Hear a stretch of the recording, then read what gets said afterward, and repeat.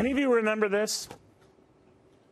Two years of exhaustive investigation and nothing to establish the fanciful conspiracy theory that Democratic politicians and TV talking heads had treated like a foregone conclusion. They told everyone there had been a conspiracy between Russia and the Trump campaign. Yet on this central question, the special counsel's finding is clear. Case closed. Case closed.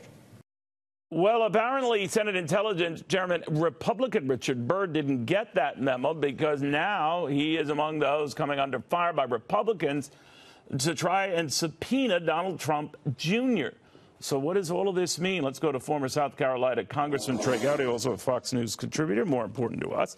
Um, Congressman, what do you make of, of what the senator is doing here?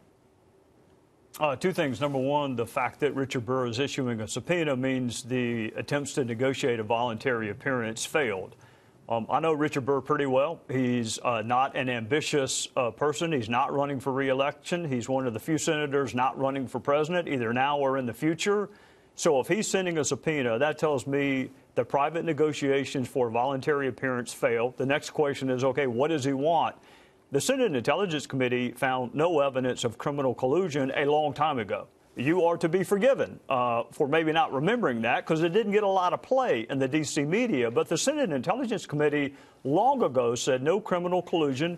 Richard Burr is not investigating obstruction of justice because he's not a prosecutor.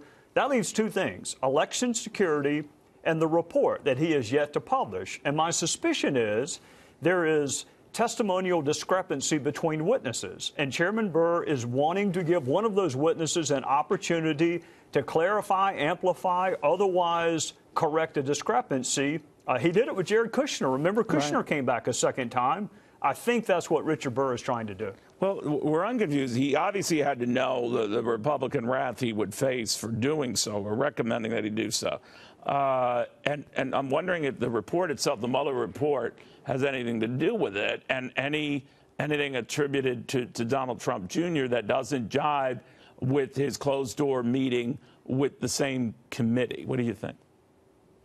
Well, I think if Senator Burr were here, he would say um, he has great respect for uh, the executive branch and their ability to conduct investigations, but he's a member of a co equal branch that also right. has a responsibility. And I do understand that a lot of our focus has been on that alleged collusion angle, but it has never been the focus of a conversation I had with Senator Burr. He has always been much more interested in the counterintelligence and the election security component. Or remember, the Senate Intelligence Committee said no collusion before Mueller did. I mean, this is old news to them. So I appreciate what Majority Leader McConnell said about case closed. It's been closed on collusion but what for is Richard this Burr case then about, Congress? That's where I'm a little confused. If he is pursuing and wants to hear again from the president's son, what is it you suspect he is zeroing in on?